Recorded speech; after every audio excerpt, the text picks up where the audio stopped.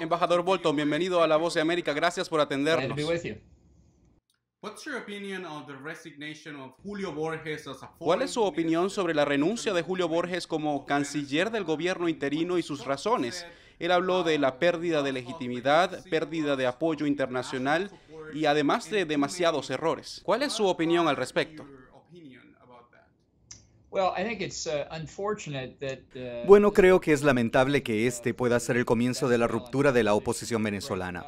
Ya sabes, uno de los grandes aciertos que creo que tuvo la oposición a fines de 2018 o principios de 2019 fue superar sus muchas diferencias para unificarse detrás de Juan Guaidó en oposición a la reelección fraudulenta de Maduro como presidente y eso se mantuvo unido por mucho tiempo. Pero obviamente los esfuerzos de principios de 2019 por el derrocamiento de Maduro fracasaron.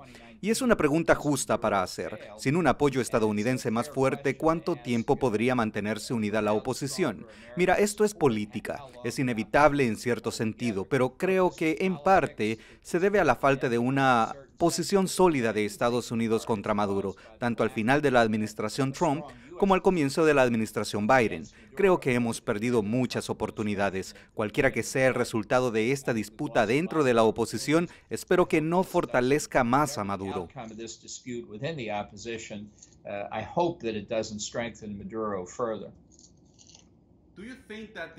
¿Cree que Estados Unidos debería seguir apoyando el gobierno interino o la existencia de un gobierno interino como representación de la oposición venezolana?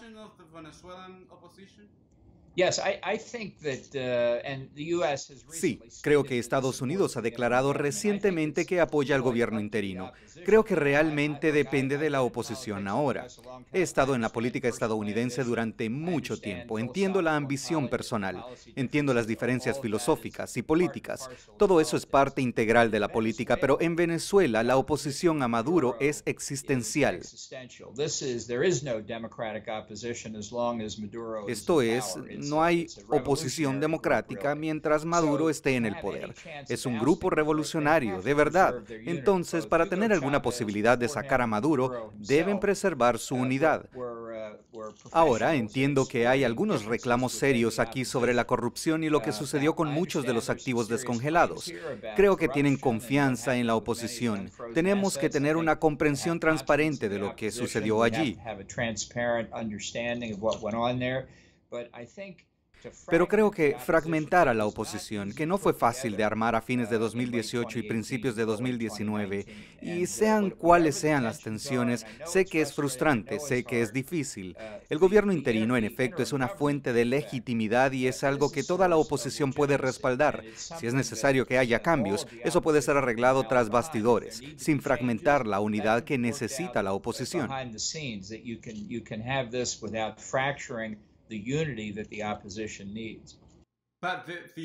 Pero la oposición parece estar ya dividida en Venezuela. Hay varios grupos entre la oposición.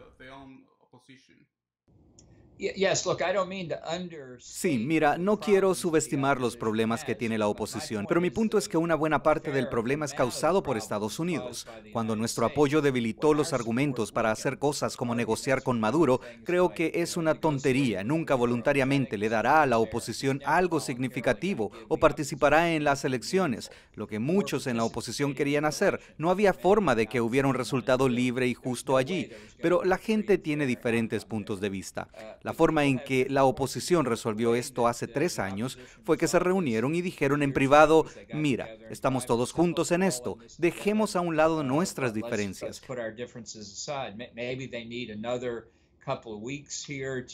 Quizás necesiten un par de semanas más aquí para reunirse en privado.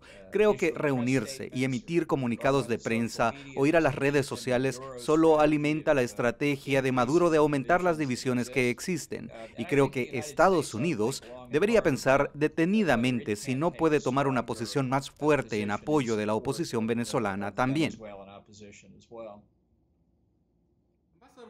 ¿Cuál es su percepción sobre la figura de Juan Guaidó como líder opositor y como presidente interino de Venezuela?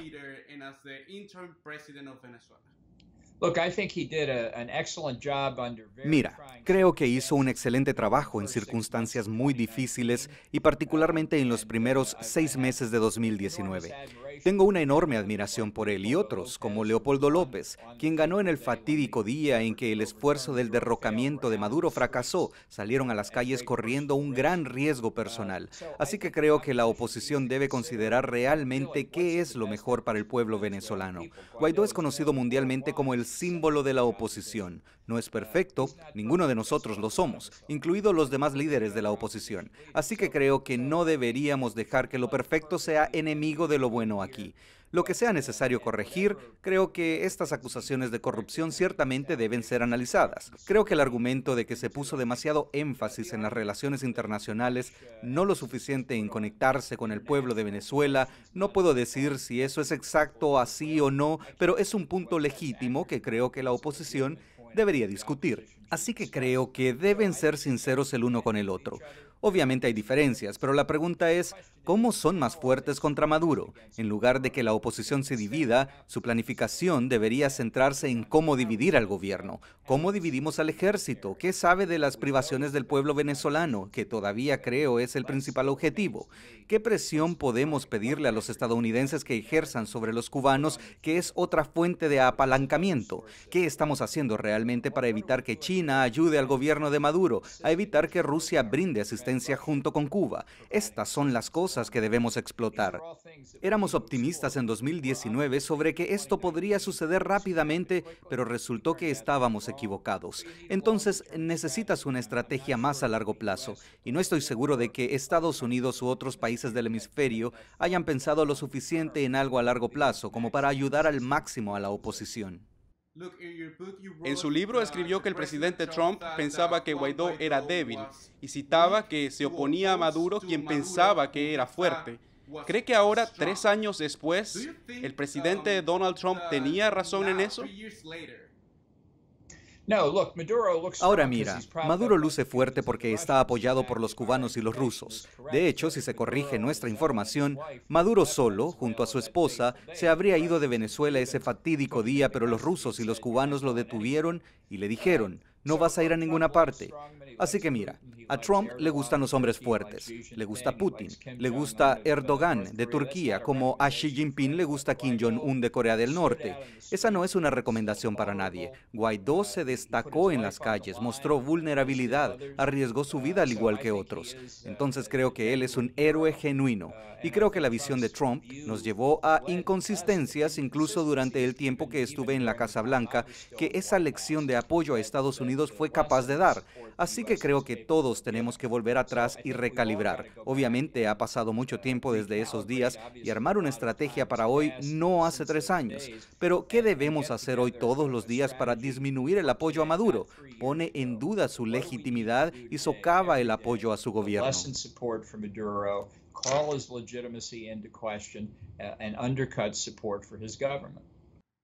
¿Cuál es su valoración sobre la política actual de Estados Unidos sobre Venezuela? Bueno, no creo que la administración Biden le haya prestado la debida atención a Venezuela. Sigo creyendo que lo que llamé la troika de la tiranía, Cuba, Nicaragua y Venezuela, son como tres regímenes decrépitos apoyados el uno en el otro y si uno de ellos cae, los otros dos también caerán. Mira que hemos visto en las calles de ciudades y pueblos de toda Cuba los jóvenes, no las personas mayores que recuerdan cuando Castro llegó al poder en la década de 1950, pero los jóvenes quieren libertad porque el régimen se las está negando. Ese régimen es más inestable de lo que la gente cree. Más presión de todo el hemisferio creo que puede tener un impacto real tanto en Cuba como en Venezuela. Y creo que un punto clave a destacar dentro de Cuba y dentro de Venezuela es que queremos que los cubanos regresen a Cuba. Queremos cortar la asistencia militar y de inteligencia que brindan para apuntalar ese régimen. Que los cubanos se preocupen por Cuba y que los venezolanos gobiernen Venezuela. Hay muchas cosas que en este sentido que podríamos hacer, pero es hora de pensar de nuevo. Y estoy seguro de que también hay muchas otras ideas. ¿Puede contarme una de esas ideas? Bueno, creo que podemos hacer más para hacer cumplir las sanciones contra la exportación de productos petrolíferos venezolanos. Creo que podemos hacer más para controlar las transacciones financieras internacionales. Creo que hemos permitido algunas filtraciones en los bordes de las sanciones. Creo que necesitamos revivir, si no el Grupo de Lima como tal, necesitamos algún mecanismo dentro del hemisferio para tener una mayor solidaridad allí. Creo que debemos trabajar más con Brasil y Colombia para sellar las fronteras. Y creo que necesitamos obtener más detalles de la oposición venezolana. ¿Qué más podemos hacer para ayudarlo que no ponga en peligro su independencia o legitimidad? Pero ¿hay activos de comunicaciones que podamos proporcionar?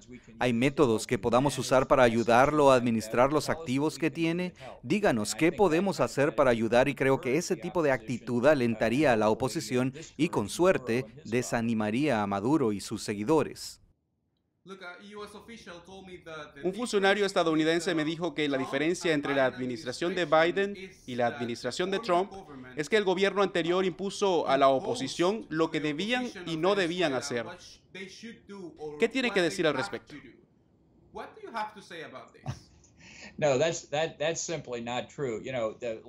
No, eso simplemente no es cierto. Sabes que mucha gente me ha dicho, ¿por qué apoyaste este levantamiento, el nombramiento de Guaidó como presidente interino en enero de 2019? ¿Tú podrías ganar?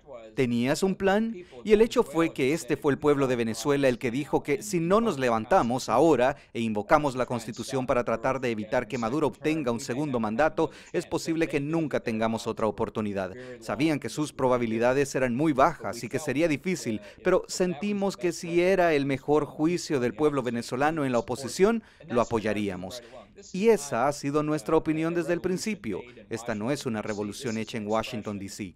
Esta es una expresión de lo que creo que son los verdaderos sentimientos del pueblo venezolano. Y lo que intentamos hacer en la administración Trump, al menos mientras estuve allí, fue apoyarlos. No los guiamos ni dirigimos más que cualquier otro gobierno del hemisferio occidental. Solo una pregunta más. ¿Cree que el puesto de enviado especial para Venezuela debería seguir existiendo en el gobierno de Estados Unidos? Sabes, personalmente no me gustan los enviados especiales. Es una propuesta general. Creo que el secretario de Estado debería ser el enviado especial para Venezuela. Eso realmente demostraría cuál es la prioridad. Embajador Bolton, gracias por estar con nosotros en La Voz de América. Glad to be with you. Thanks for having me.